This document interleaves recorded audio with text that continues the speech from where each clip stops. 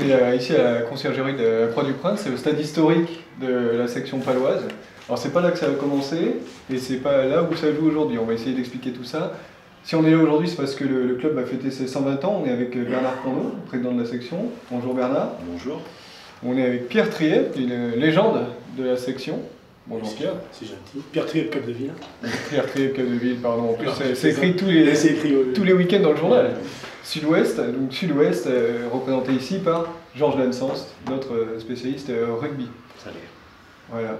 Georges, qui a réalisé toute cette semaine une série de reportages, enfin de, de recensions plus précisément, des premières heures de la section paloise, donc ce club qui a 120 ans. On connaît beaucoup l'histoire du titre de 64 de François Monclat, on connaît les années 90-2000, la, génération de, Pierre, on suit très attentivement les exploits de la section de Bernard depuis 2006, euh, mais on connaît un peu moins cette, euh, ce début d'histoire, on va essayer de, revenir dessus.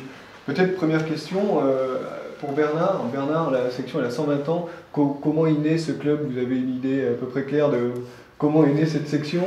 Pour être tout à fait clair et tout à fait précis, il y, y, a quand même une recherche des anciens relative à sa naissance.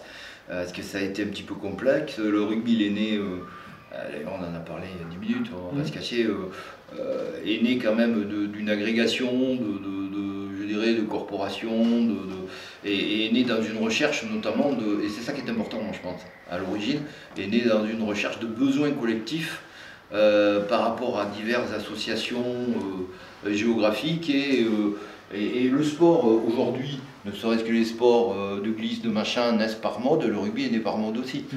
euh, d'après la recherche des anciens. Je il y a un côté éducatif. il y a un côté éducatif, il y a une recherche des, sportifs et des éducateurs sportifs de, sport éducatif. Hmm. Et le sport était peut-être un peu plus individuel à l'époque, donc il y a eu une recherche au niveau du collectif. Et le rugby a été visiblement choisi et les vertus collectives du rugby, peut laisser Pierre, euh, Pierre qui a une très belle plume au passage, euh, euh, en parler brillamment. Mais pour moi, c'est l'essence même du sport co. On va, peut-être pas faire tout le détail, mais en gros, la, section, c'est une, section de, du sud-ouest de la pratique du rugby. De la Ligue Girondine. De la Ligue Girondine, exactement. ça, Il commence à jouer, d'ailleurs, donc là on est au bout de l'avenue du 14 juillet. Mm. Le club, en fait, il commence à jouer au Chambourda, qui est au début de l'avenue, plus près du Gaz, en réalité. Et euh, c'est en 1910 qu'est construit ce stade de la Croix-du-Prince, avec la conciergerie. Pierre euh, n'était pas là encore en 1910. Euh, je crois pas. Il ne me semble pas. Et donc le, club. Personne ici. le, le, club commence assez, assez vite finalement à, bien fonctionner. Georges, vous l'avez découvert cette semaine dans vos papiers de, Sud-Ouest. Ouais, tout à fait. Hein. bon, c'est un club qui a, une, qui a une longue histoire et il ne faut pas perdre de vue que la section paloise a écrit, euh, en dépit de, des lignes qu'ont écrites Bernard en tant que président et, Pierre en tant que, joueur, qui sont les dernières du palmarès de la section. Euh, les plus grandes lignes du palmarès de, l'histoire de ce club sont, euh, ont été écrites durant la, première partie de son histoire. Et effectivement, elle est, elle est, elle est profonde. Euh, cette histoire, mais, euh, mais elle est très riche. on, a, plusieurs titres de champion, c'est ça? Effectivement, bah, le titre de 28 euh, et le titre de, de, 46. Bon, on parle beaucoup du titre de 64, comme, comme vous l'avez dit, mais les aventures du titre de 46 et celle de 28 sont, sont tout aussi formidables, hein, bah, à l'image des personnalités qui étaient notamment les frères Cazenave, qui, qui, bah, qui étaient de, de, toutes les aventures des Palois durant, durant, durant ces trois titres. Alors Pierre, vous, vous êtes pas très loin, vous êtes naillé, euh, semble-t-il. Euh, quand vous arrivez au club, au début des années 90, est-ce qu'on vous raconte euh, toute cette histoire? Est-ce que vous vous imprégnez de l'histoire de la section ou vous en, vous en foutez? Non, je m'en fous. je suis arrivé, j'avais 21 ans, donc l'histoire, j'étais un fan d'histoire, mais mmh. pas la même. Mais par contre, mais je connaissais, parce que de Naï, on connaissait les frères Cazenave, forcément. Donc, fais-moi pas personnellement, même si je les croisais dans les rues, on savait qui c'était. Donc, euh, et puis quand je suis arrivé à Pau, surtout, c'est parce que mon père m'avait dit qu'en tant que Barnet, euh, il fallait jouer à Pau. Il était questionné à la Lourde ou à Tarbes, même si les naïfs de préférence partent sur Lourdes. Donc euh, voilà, mais on connaissait l'histoire forcément, parce que c'était en 89, je crois. Donc forcément, sur le titre 64, on n'avait que 35 ans, ça faisait beaucoup moins déjà. Donc on, côtoyait tous ces gens-là. Oui, oui, oui, oui, la section paloise, alors, c'était le club de Pau, le club un peu bourgeois, parce que Pau avait quand même cette notion de ville bourgeoise. Euh, donc voilà, mais bon, après, quand on y est dessus, euh, sur la Croix du Prince, on sentait bien qu'il n'y avait rien de bourgeois dans les populaires. Quoi. Donc euh, oui, on était imprégné de ça, oui, oui. Moi j'étais imprégné de ça parce que j'ai été élevé dans cette culture bernaise, donc forcément, c'était un peu la, la, destination logique. Je vous pose la question parce que dans, le sport professionnel aujourd'hui, on, s'aperçoit quand même que les, les joueurs connaissent pas forcément l'histoire des clubs. J'en parlais avec euh, Georges euh, avant cette petite émission, mais euh, Zlatan, quand il arrive au PSG, Zlatan Ibrahimovic, il dit avant, avant moi, le PSG c'est rien.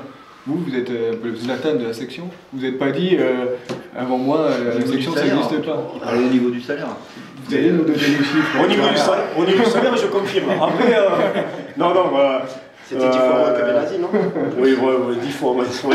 Non, par contre, Zlatan, je pense qu'il connaît très bien, il connaissait l'histoire du PSG. Enfin, je veux dire, je suis fan du PSG, ça serait euh, croire à ce que disent Athènes, ça serait oublier le, but d'Antonio Camboré qu'on élimine euh, le Real de Madrid en Coupe d'Europe.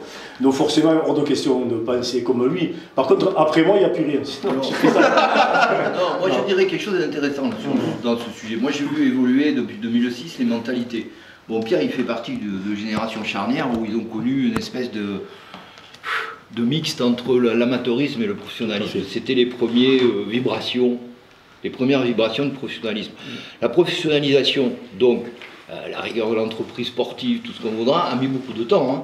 Moi, euh, je démarre en 2006. Euh, les générations, jusqu'à une certaine date, je ne les ai pas trouvées très professionnelles. Hein. Mmh. Ils avaient des salaires de pro, mais je veux dire, ces générations actuelles, euh, qui, ont été, d'ailleurs on le voit sur le terrain au niveau de l'équipe de France, c'est des générations issues des centres de formation qui ont été très formées au haut niveau, ils en ont fait un métier, et les types l'adressent comme un métier. Moi je les trouve très sérieux, ces jeunes mmh. générations.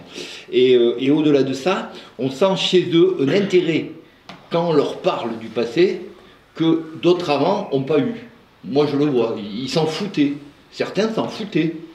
Je, je retrouve un intérêt, même du mec qui vient de loin, je retrouve un intérêt à s'accrocher à une forme historique d'un club et de s'en imprégner, notamment au niveau du club, mais notamment au niveau du territoire. Et cette notion, nous on l'a beaucoup travaillé euh, avec Sébastien Piccheroni, ça fait partie de la culture globale qu'on a voulu réinjecter, et derrière, euh, ça, ça euh, tu sais, on ne donne pas à, boire aux gens qui n'ont pas soif. Et, là, en l'occurrence, non, il y, y a, quand même un intérêt d'imprégnation de ça. Donc ça, moi, je, je, trouve que c'est bien. Hein, tu as un retour à une forme d'intérêt dans les racines. Et ça, je trouve ça, justement, dans, la volonté de Sébastien Piccheroni de, de, s'accaparer l'histoire euh, de ce club ou de, le remettre en valeur, je trouve ça particulièrement intéressant. Et ça va au-delà, ça va au-delà, parce que je pense que c'est un contexte où tout le monde s'y retrouve, dans le sens où euh, ça crée un pont euh, générationnel, je dirais, de communion commune, parce que le rugby, c'est ça, hein, je veux dire, par essence. C'est ce collectif, c'est ce besoin social c'est le, ce lien hein, social. Hein, ça a été inventé pour ça, moi je le pense. C'est ce lien social, euh, toute communauté sociale confondue, ok Et derrière, euh, il y a un intérêt aussi pour les partenaires. Parce que les partenaires s'identifient à une aventure. Et les partenaires sont participants et sont partie prenante dans la vie sociale d'une communauté, d'un territoire. Et c'est pas étranger, ce n'est pas que de la visibilité. Une pas boîte comme Total Énergie, euh, s'ils veulent avoir euh, de la visibilité, ils peuvent se payer toutes les visibilités du monde, c'est pas un problème. Mais il y a une il y a, comment dire, il y a une aventure. Il y a une aventure, il y a quelque chose dans le temps à raconter. Il y a, quand même de la cette histoire-là. Même, même dans, le, dans le soutien, dans les partenaires, il y a de la sincérité. Bien sûr, c'est ça qui crée le ciment. Et le ciment, il est là. Il est dans la projection, Hein il faut être dans la projection. Hein. dire, ce qui est intéressant, c'est ce qui se passera dimanche et euh, samedi. Et après samedi, ça sera l'autre samedi. Mais c'est ce qui nous mène tous. Mm. Mais aussi, ce qui est intéressant, c'est d'amalgamer euh, tout ce contexte-là. Et moi, je, euh, même en le souhaitant profondément, en mettant les choses au point, je l'ai dit tout à l'heure, il, faut, il faut une perméabilité du terrain pour les injecter, ces valeurs-là. Et moi, pendant des années, je ne l'ai pas trouvé. Regardez comme les partenaires pour dire Bernard, les partenaires euh, étaient à l'origine de l'achat de la Croix du Prince. C'était Albert Cazenave qui avait réussi à réunir les partenaires et leur rôle social euh, est bien visible de par cet exemple. euh, ils ont permis d'acheter donc les parcelles du, terrain qui ont permis au club de bénéficier de ses propres installations et d'avoir son propre stade. Après, c'est euh, ça c'était novateur. Hein. Ce qui est différent avec mon époque, c'est que pour moi, ça n'a jamais été un métier le jour. Alors, pas bénévole, mais moi, quand j'ai enfin, commencé, quand j'ai fini presque ma carrière, au moins dans les années 80, quand on gagne une par exemple, Et quelle carrière? moi ce que je gagnais à la section, ça me doublait le salaire de la mairie. Bon, d'accord. Ça me faisait un salaire de, de cadre un peu. Bon, voilà, oui, je touchais 10 fois moins que Benazi. Bon, Benazi était capitaine de France aussi, bon, c'est pas le même sujet. Mais je veux dire, on n'avait pas la même projection. Je ne disais pas, j'ai 3 ans de contrat, qu'est-ce que je fais en 3 ans? Moi, je disais, si j'ai plus le contrat, ben, je repars à la mairie de Poitin. C'était une autre approche. C'est pour ça que le, euh, je trouve qu'on était pas plus, on était plus, comme tu dis, plus perméable au passé. Après, maintenant, les mecs, je les comprends. Les mecs, ils ont des, des bons salaires qu'ils méritent, et puis ils ont une autre projection. Le gars, il a 3 ans de contrat, il a 25 ans, qu'est-ce qu'il fait à 28 ans? Et c'est normal. Mm. On ne va pas lui dire, tu vas venir boire un café ici. Euh, c'est tout à fait. Mais c'est vrai que moi, je préfère qu'on parle de la section maintenant et que Sébastien Piccolini, je pense, qui a, impulsé ce mouvement, que quand je voyais, on voit encore un peu la Green Team et tout ça, où je me disais, peut-être qu'on va marche forcée, ou je sais pas. Et c'est très bien, on ne peut pas se couper du passé, mais on ne peut pas vivre que de ça non plus, attention. Alors, il y, a un mec, il y a deux mecs qui ont, je dirais, démarré un peu avant. tu veux, c'est un mécanisme, Sébastien a rebondi, etc. Et l'a émancipé, l'a ancré euh, et continue à l'ancrer. Mais au-delà de ça, ça a démarré avant. On a commencé à faire ces choses-là avec euh, un type qui s'appelle euh, euh, Julien Pierre et Conrad Smith. Mmh. Conrad Smith, le néo-zélandais est excessivement empreint de l'histoire. C'est comme ça. C'est que là-bas, les, les, All Blacks aussi se sont C'est culturel. Et ça, c'est un truc, lui, bah, il a participé quand même pendant 2-3 ans après avoir joué. Et ça, Conrad, il a. C'est ce qu'il vous disait. Il vous disait comme quoi l'immigration a un intérêt aussi. Contrairement à ce que certains disent, en plus c'est une période intéressante pour en parler. Et euh, un intérêt, c'est que parfois on retrouve aussi, euh, il y a des gens de l'extérieur qui arrivent à, un peu à épouser les choses et à te rappeler que ton histoire est importante. Bien sûr. c'est comme ça.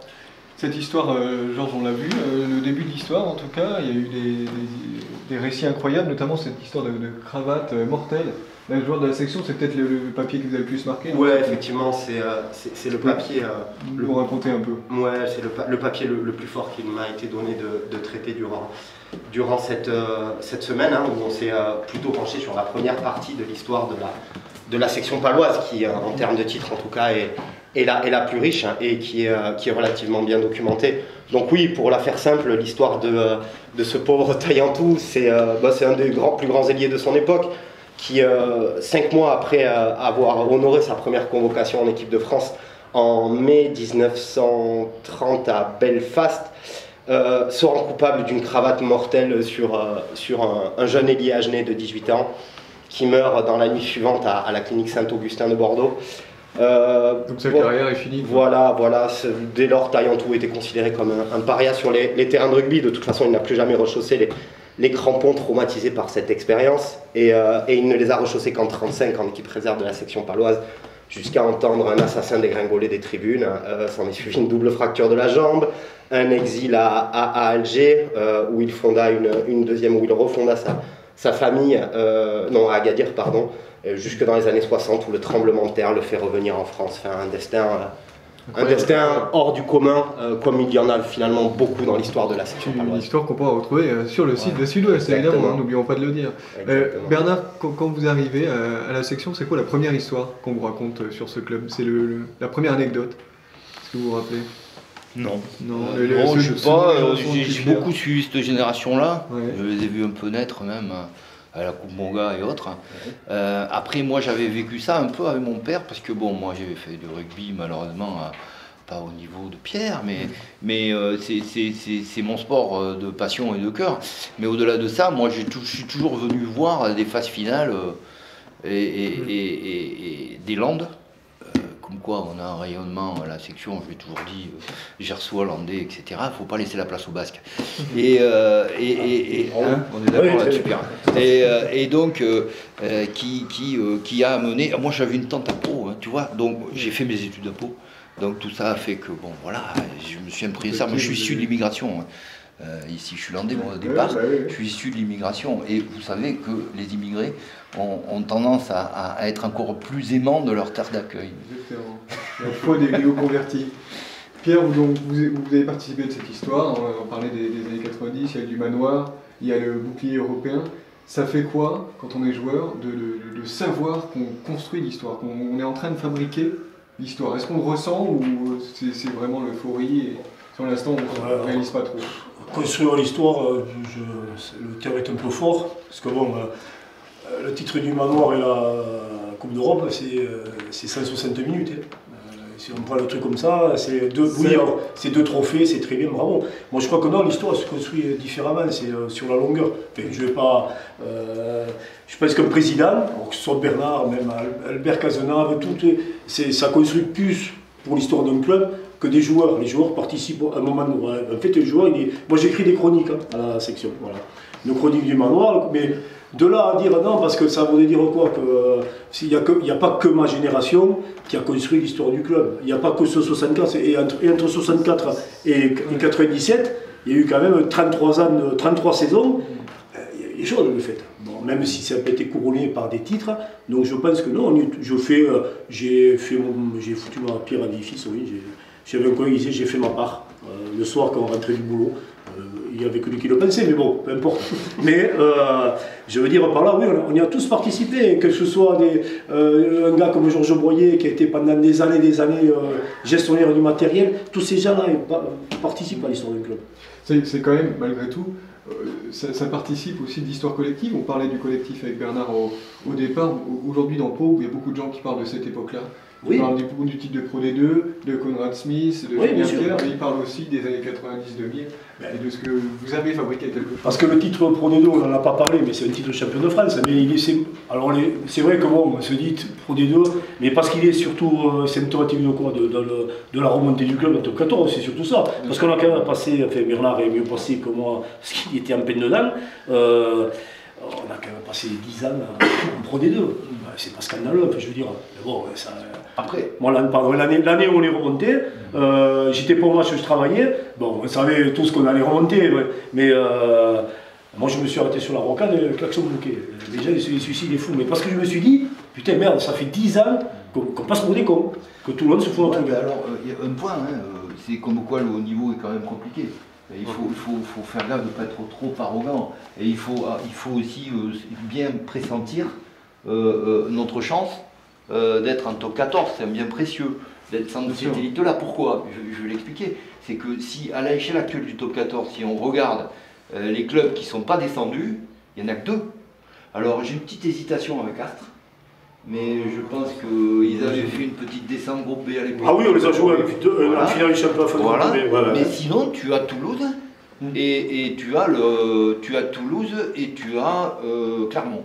Euh, les autres oh, sont descendus. Ils ont tous Et puis on parle d'une élite qui est resserrée. Attention, clairement qu'on avait battu en Coupe Moga, nous à l'époque, c'était la, la- pour jouer le maintien en groupe A. hein. Ouais. Et, et- et puis on parle d'une élite resserrée à 14 clubs, quoi. quand on se rend compte qu'en 46, la section perd le premier match de sa saison à Fumel avant de devenir champion de France. Contre Ça qui, hein Non, Non, qui en stand 26, 28. 28. Mais le premier match de la saison de la section du pas le de sport, 46, et le perd à Fumel, quoi. Ouais. La honte. C'est important ce- pour le territoire, euh, Bernard, qu'il y ait une section en top 14. On en a parlé avec le Pau FC en Ligue 2 de football. C'est pour la, la visibilité de Pau. En fait, les, les gens qui habitent à, à Dunkerque, par exemple, ils entendent parler de Pau même sans euh, le faire exprès. quoi. Non, mais oui, compte, mais ça. bon, alors il y a ce contexte, effectivement, de, de- le sport à cette euh, caisse de résonance qui est très intéressant. C'est pour ça que nous, notre mission, elle est, elle est sportive, hein, c'est gagner des matchs, il ne faut pas, faut pas se tromper. Mais, mais elle est quand même, il y a, il y a- il y a un gros, gros, gros euh, euh, boulot, je dirais, lié à, au lien social et à la valorisation du territoire. Il faut avoir, il faut, faut- faut avoir ça emprunt. D'où l'intérêt quand même d'avoir aussi euh, créé un terrain perméable aux mecs euh, pour qu'ils comprennent ça aussi. Quoi. Euh, c'est vrai, on n'est pas des communautés, on n'est pas une ville de millions d'habitants. quoi. Petit peu qu'il y en ait beaucoup en France, mais et on n'a pas ça, on n'a pas ça. Donc euh, on est une ville moyenne, et par rapport à cette ville moyenne, on fait partie des 14 meilleurs clubs français. Il faut tout faire, il faut que la communauté, si c'est pas communautariste, si c'est pas lié à toutes les parties prenantes pour pouvoir y rester, on n'y restera pas. Euh, lié à tout, et même à un travail collectif de telle manière à avoir eh ben, les meilleures installations, euh, les meilleurs leviers pour ce sport de haut niveau que je rappelle qui est culturel. Je veux dire, euh, on en a parlé, ça fait une heure qu'on en parle. Il est culturel et endémique, comme je dis. C'est endémique ce sport. Donc euh, euh, voilà, il est vecteur de caisse de résonance, mais il est vecteur de satisfaction et d'honneur, d'orgueil territorial. juste pour compléter les propos de Bernard, cette caisse de résonance, elle existe depuis toujours à Pau. effectivement, quand on lit plusieurs témoignages, quand on qui parle de cette foule qui descend la rue du 14 juillet pour se rendre à la Croix du Prince, il faut vraiment se rendre compte que 120, 120 ans d'histoire, c'est pas rien. Et que, et que ces 120 ans d'histoire, enfin la section il y a 100 ans, c'était déjà la section. C'était, c'était pas un petit club de, de, de, rugby de ville bourgeoise, quoi. Ça drainait des foules et ça en a toujours drainé. Le train s'est arrêté devant la Croix du Prince. Hein. On parlait de mobilité, maintenant, on a d'emmerdement à la mobilité. Mais là, à l'époque, le, le, tramway, le, le, le, train ou le tramway, enfin, le rail ah s'arrêtait devant le truc là, et les types venaient. Euh, et c'était une des installations les plus, euh, les plus modernes d'Europe. C'était un des stades les mieux desservis d'Europe et, et, beaucoup, beaucoup de rugbyman, euh, bah, les meilleurs de l'époque, l'ont loué ce stade. Et, surtout, quand vous parlez de section paloise, en fait, on ne dit pas section, on dit section, la section. Et quand on dit la section, on sait que c'est Pau, quoi. Je veux dire, euh, il n'y a pas beaucoup de clubs. Mm. L'aviron, on n'a pas besoin de dire l'aviron mayonnais. Mm. On dit le stade toulousain. Nous, c'est quand on dit je suis supporter à la section, on ne dit pas je suis supporter à la section paloise. Mm. On sait la section, c'est comme le Celtic de Glasgow. Pareil. Dans un contexte moderne de, communication, euh, ça c'est à savoir. Et euh, c'est, je vais vous le dire, ça c'est la, la, réalité des, actuelle au niveau rugbystique. Euh, si vous regardez, euh, et ils se sont euh, dans le sud, à l'international, ils ont fait un petit peu la connaissance des clubs français dans le sud, néo-zélandais, australiens, tout mhm. ça. La section est dans les, je crois, les sixième ou cinquième des clubs les plus connus dans le sud. Mhm. Avec, les, les néo-Z qui sont. On est mieux, on est mieux, je dirais, l'image de la section paloise à l'international et au-dessus de bien des clubs qui passent davantage sur Canal Plus en prime. C'est quand même les plus établis. Hein c'est vrai que tout le monde, il n'y a, pas plus de monde nous en prime, non Peut-être une question, euh, Bernard et, Pierre, sur on parle beaucoup d'histoire euh, et du club d'aujourd'hui. Quel euh, rapport a le club aujourd'hui avec ses anciens? On, sait que c'est ça marche pas toujours dans tous les clubs, à Biarritz notamment, sans, sans ah, vouloir donner des noms. Mais, on va commencer à se comparer. Quoi. Comment ça se passe à la section le, rapport, peut-être Pierre, pour commencer, quel rapport les anciens ont avec le club d'aujourd'hui? Ben, Rapport honnêtement, des fois c'est compliqué parce que euh, voilà, c'est plus tout à fait le même rugby, euh, même si sur le terrain. Le problème des anciens, c'est que quand on devient ancien, euh, déjà ça veut dire qu'on vieillit, alors on peut devenir aigri, et c'est normal, je veux dire, parce que c'est toujours mieux avant.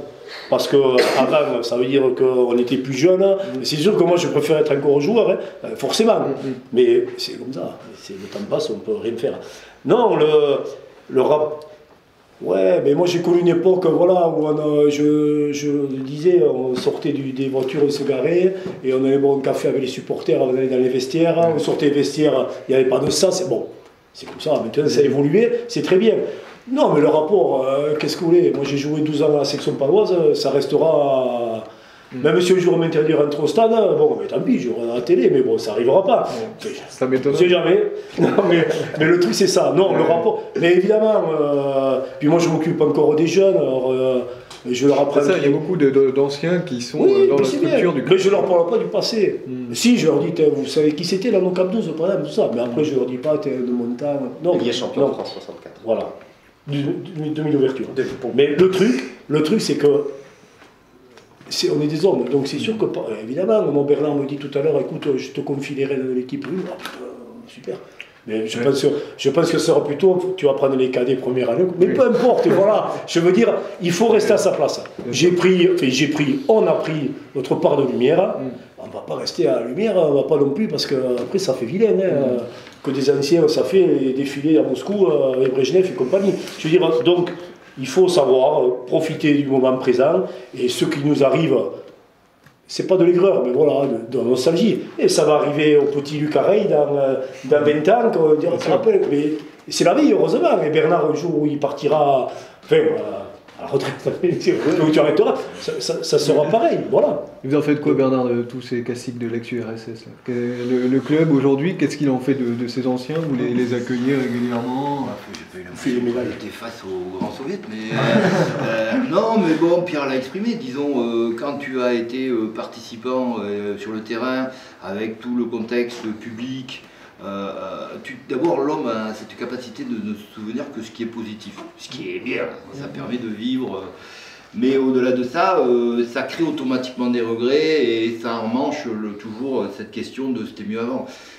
avant, c'était bien avant et ça sera bien maintenant. Pourquoi? Parce que les choses sont plus les mêmes. Les choses, elles évoluent. Et elles n'évoluent pas parce qu'un mec a décidé qu'elles évoluent. Elles évoluent avec, avec le monde. Et alors, des fois, il ne faut pas tout prendre, hein, tu vois. Mais, euh, mais, mais, je veux dire, euh, tu évolues en faisant des conneries, tu les rectifies, mais tu évolues. Et c'est normal, parce que les gens évoluent. Moi, maintenant, ce que je pense, c'est qu'il faut s'accrocher aux racines, et on en parlait, et c'est, je pense, pourquoi on est là aujourd'hui, c'est qu'il faut s'accrocher à un objectif commun. Et euh, garder ce bien précieux qui est le haut niveau, travailler d'arrache-pied, donnons les moyens pour un président, c'est ça, c'est peut-être marquer son époque, ça veut rien dire, mais disons, faire euh, euh, euh, donner de la croissance à ce club pour justement qu'il reste dans ce haut niveau-là, dans ses infrastructures, dans ses hommes, etc. Et, c'est ce qui fait, trouvons, trouvons les dominateurs communs. Les dominateurs communs, c'est on aime le même club, on supporte le même club.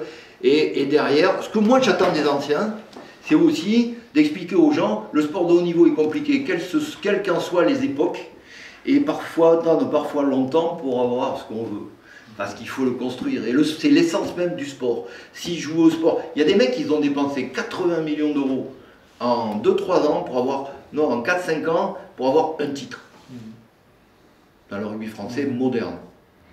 Bon, ils ont dit stop, on va le construire comme on doit le construire. Et ils dépensent moins. Certains ont dépensé beaucoup, ils n'ont encore rien. Euh, que des papiers sur le journal. Vous adorez. Mais euh, non, mais c'est ça. Je veux dire, le sport de haut niveau, c'est compliqué. C'est ce qu'on aime dans le sport.